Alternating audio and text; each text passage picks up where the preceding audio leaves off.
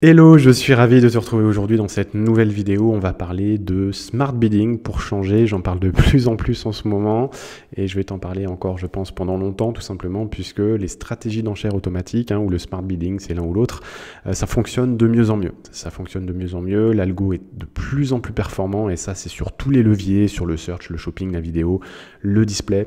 Et donc, je t'invite euh, vivement à tester le smart bidding, donc le CPA cible, le ROAS cible, hein, c'est les stratégies qui, d'après mes observations, marchent le mieux. Et on va faire un, un focus précis aujourd'hui sur les stratégies de portefeuille. Tu n'en as sans doute jamais entendu parler puisque c'est très peu utilisé, mais dans certains cas, c'est très utile et c'est ce qu'on va voir dès maintenant.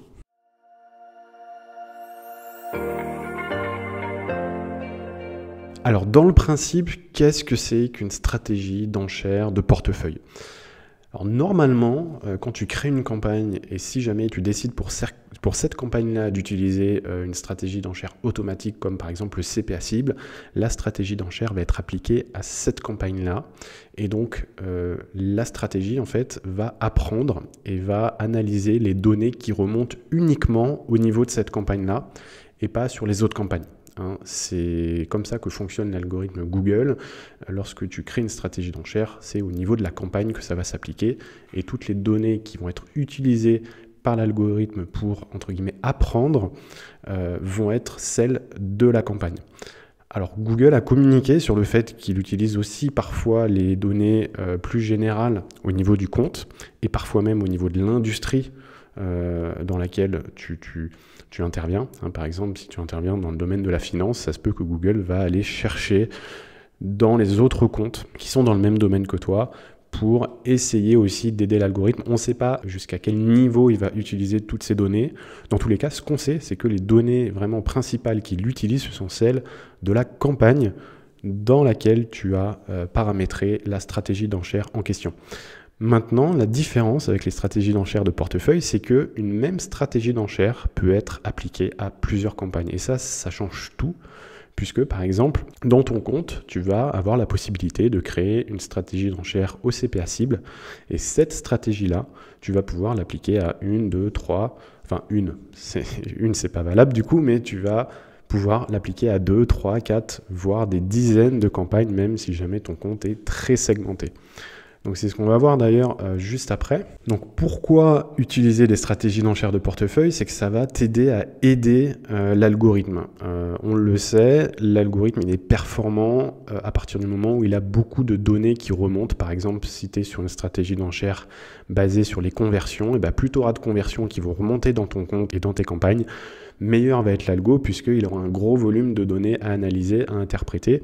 Et on est sur de l'intelligence artificielle. Et, donc, c'est des, algorithmes qui apprennent avec les, données qui remontent et qui peuvent interpréter. donc, plus tu en as, généralement, mieux ça fonctionne.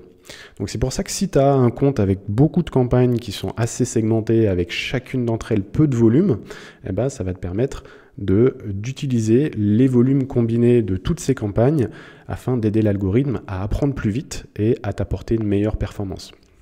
Donc ça, c'est le gros avantage. Ça marche très bien, je l'ai dit, euh, lorsque tu as besoin, euh, bah, par exemple, si tu as un compte euh, qui cible plusieurs zones géographiques et pour des problématiques business, il faut que tu fasses une campagne par zone géographique, eh ben, tu vas pouvoir utiliser une stratégie d'enchère de portefeuille, appliquer la même stratégie à toutes ces campagnes pour aller plus vite, pour avoir des meilleures performances, puisque globalement, au lieu d'avoir une seule euh, stratégie par campagne et donc des petits volumes à chaque fois, tu vas pouvoir faire remonter l'ensemble de tous ces volumes de conversion au niveau de la stratégie d'enchère de portefeuille directement. Après, le gros avantage aussi de ces, stratégies d'enchère de portefeuille, c'est dans le cadre du CPA cible. Euh, le gros avantage que tu vas avoir, c'est que tu vas pouvoir euh, paramétrer un CPC max. Et ça, c'est un gros plus, puisque généralement, ce qu'on observe parfois euh, lorsqu'on utilise le CPA cible au niveau d'une seule campagne, c'est que déjà, d'une part, on ne peut pas paramétrer de CPC max, et parfois, du coup, on, voit des coûts par clic qui peuvent s'envoler selon les thématiques et selon la, maturité de l'algorithme. Hein. Donc, euh, ça peut être très utile dans ce cadre-là aussi, et c'est le seul endroit où, euh, dans le cadre de l'enchère au CPA euh, cible, tu peux paramétrer un CPC max, tu ne peux pas le faire, encore une fois, au niveau de la campagne. Maintenant, il faut faire très attention, et c'est ce que je t'ai mis là sur le slide, c'est que si tu utilises des stratégies d'enchère de portefeuille, il faut vraiment veiller à ce que euh, la stratégie soit appliquée à des campagnes qui ciblent le même type de prospect. Alors quand je parle du même type de prospect, on, on va prendre un exemple. Si tu fais du e-commerce par exemple et que tu vends, je ne sais pas moi, des chaussures, euh, si tu euh, crées au niveau de ton compte une stratégie euh, d'enchère de portefeuille au ROA cible, par exemple, hein, c'est ce qui marche bien en e-commerce, et que tu l'appliques sur deux campagnes dont l'une cible les hommes, par exemple avec des mots-clés chaussures hommes, et sur une autre campagne qui cible des femmes avec des mots-clés liés aux femmes, ça va beaucoup moins bien fonctionner puisque d'un côté tu cibles des hommes et d'un autre côté tu cibles des femmes, donc des internautes avec des caractéristiques qui sont complètement différentes. Euh, et ça, peu de gens le savent et beaucoup de gens l'oublient. Euh, la stratégie d'enchère de portefeuille ne fonctionnera bien que si tu l'appliques à des campagnes qui ciblent soit la même intention d'achat, donc avec des mots-clés qui ciblent par exemple le même service, soit pour euh, des campagnes qui ciblent la même typologie de clients, donc des hommes, des femmes, des personnes âgées ou non. Hein, si tu as aussi par exemple une campagne où tu vends bah, des, des, résidences pour seniors et que dans le même compte, euh, tu as des campagnes qui, ciblent les gens qui veulent euh, investir dans l'immobilier, bah forcément, tu auras des moins bons résultats si tu mixes les deux campagnes dans la même stratégie d'enchère de portefeuille. Ça, faut vraiment faire très attention. Et quand tu crées ces stratégies-là, bien l'appliquer aux campagnes qui ciblent le même type de prospect. Voilà, ceci étant dit, on va pouvoir passer dans l'interface pour que je te montre concrètement comment euh, créer et ajouter ces stratégies de portefeuille à tes campagnes. Alors nous voilà sur un compte Google Ads, tu vois, j'ai trois campagnes, dont deux campagnes sur le réseau de recherche, donc on va partir du principe que je vais créer une stratégie d'enchère de portefeuille pour ces deux campagnes Search. Pour la créer, il n'y a rien de plus simple, tu vas dans Outils et paramètres et Stratégie d'enchère. Là, tu es dans l'interface, tu vois, stratégie de portefeuille d'enchère, ça va être l'interface dans laquelle tu vas trouver toutes les stratégies d'enchère de portefeuille que tu as créées. Sur ce compte-là, il n'y en a aucune. Donc on va en créer une tout de suite.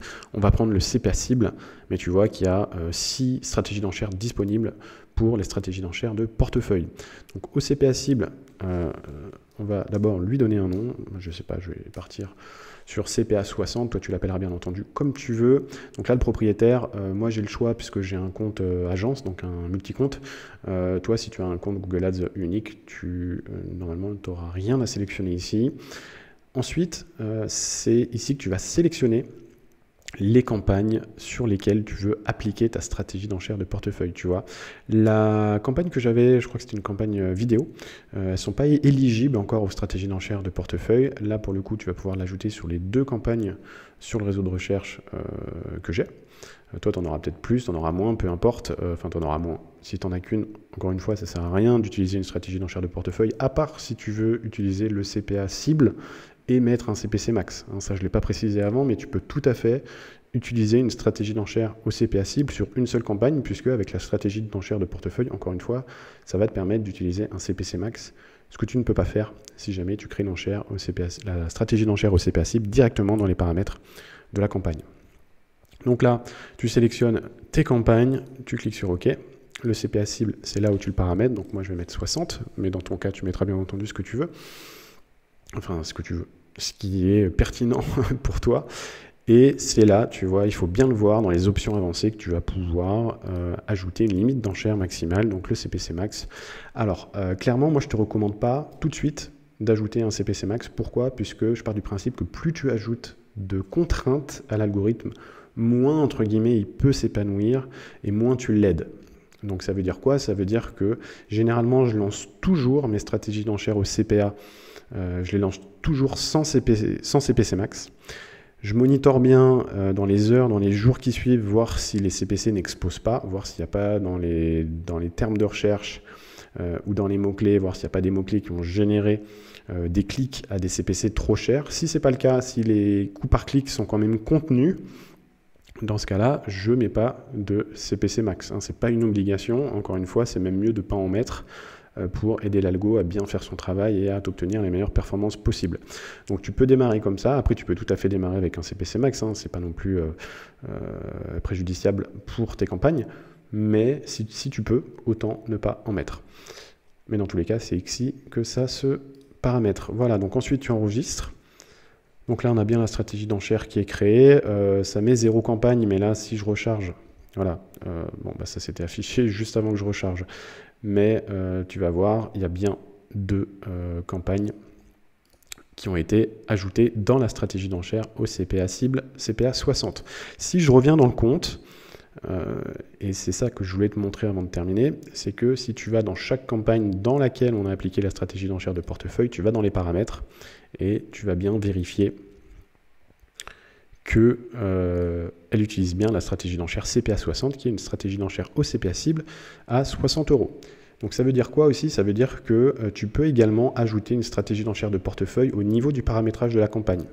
Tu vois, moi si je retourne sur une stratégie par exemple d'enchère au, CPC manuel et que j'enregistre, demain je peux très bien me dire, bah tiens, cette campagne-là, j'ai envie de l'ajouter à ma stratégie d'enchère de portefeuille. Donc qu'est-ce que, je fais?